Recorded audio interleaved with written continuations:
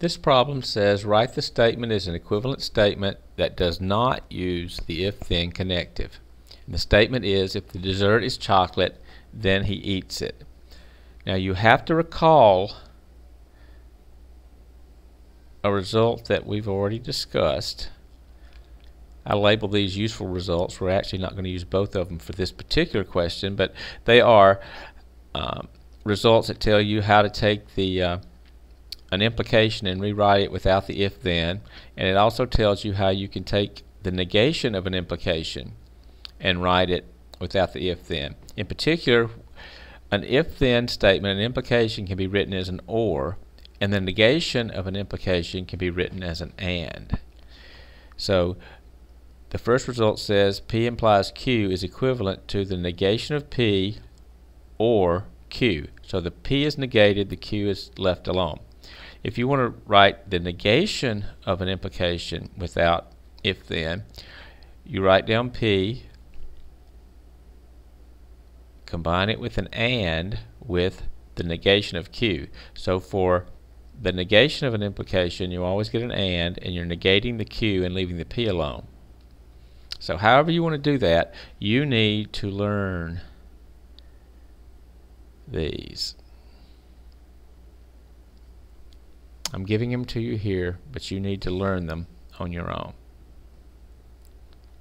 because you're not always going to be given that information. Now, once you have it, we can now answer the question. If the dessert is chocolate, then he eats it. Write that as a equivalent statement without that if-then connective. The trick is to think of which is which. This is P, the dessert is chocolate. This is Q, he eats it. So looking at this first result, it tells me how to take an implication and write it without the if-then. I'll just copy it down here so I can work with it better. Not P or Q. So if I can translate this into a grammatically correct English sentence, I'll have done what they ask. So here we go. I take the negation of P, so if the dessert is chocolate is P, I mean, not the if part, the dessert is chocolate is P, then the dessert is not chocolate would be not P.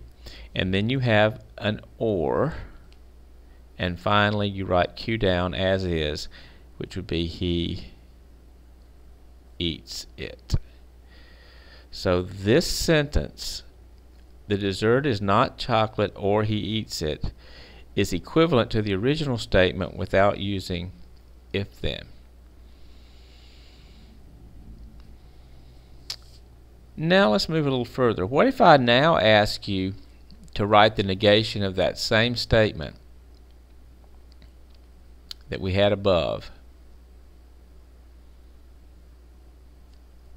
If the dessert is chocolate, then he eats it. That's exactly the same statement as before. So the dessert is chocolate is P. He eats it is Q. But this time I want to write the negation of it. So that means I have to go back and use this formula.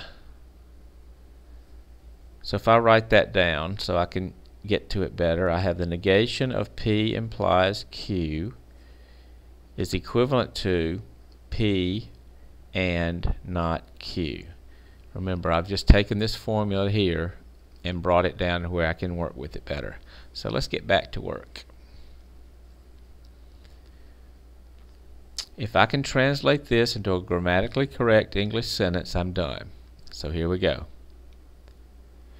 P is the dessert is chocolate. The dessert is chocolate. There's an and. The negation of an implication is always an and.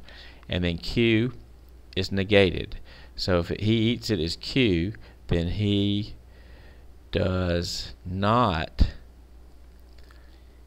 eat it would be the negation of that. So this statement, the dessert is chocolate and he does not eat it, is the negation of the original statement. And notice it also does not have an if then.